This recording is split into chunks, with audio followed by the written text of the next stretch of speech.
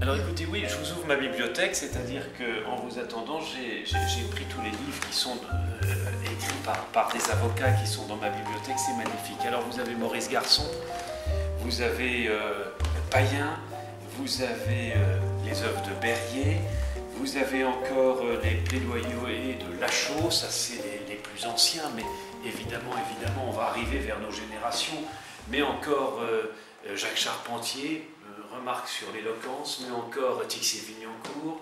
Vous avez René Floriot, le procès du maréchal Ney. Tixier-Vignancourt, j'ai choisi la défense. On sait qu'Alberno a écrit ce livre dont le titre est magnifique, Les défendre tous.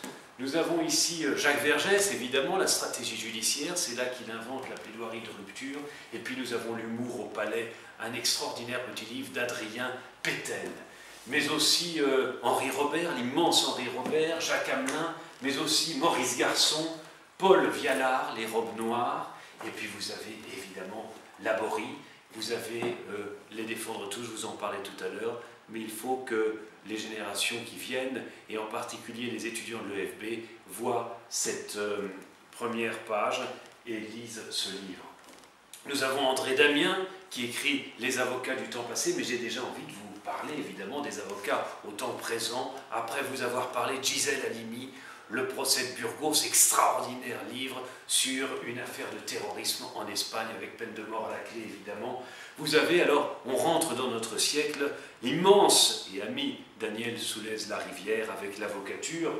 Vous avez, euh, pour rassembler tout ça finalement, euh, Pierre Dosier et Paul Lombard, anthologie de l'éloquence française. Il y en a un autre bouquin qui est l'anthologie tout ce qu'on fait mieux en termes d'avocat. Et puis vous avez Roland Dumas, les preuves, les preuves.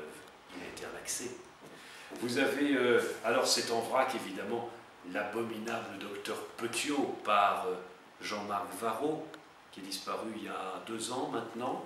Vous avez euh, Jean-Denis Bredin, l'immortel, qui nous fait un livre avec Thierry Lévy, l'extraordinaire Thierry Lévy, Convaincre dialogue sur l'éloquence, on a l'impression du banquet de Platon.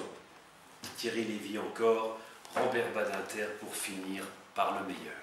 Voilà pour euh, les quelques livres qui sont dans ma bibliothèque. Il y en a bien d'autres qui sont sur les quais de la Seine et vous trouverez chez les bouquinistes. Revenez à pied du palais pour aller à l'EFB et arrêtez-vous pour lire tous ces immenses avocats qui ont écrit des pages sur ce qu'il y a de plus beau au monde, c'est-à-dire la plaidoirie et les procès.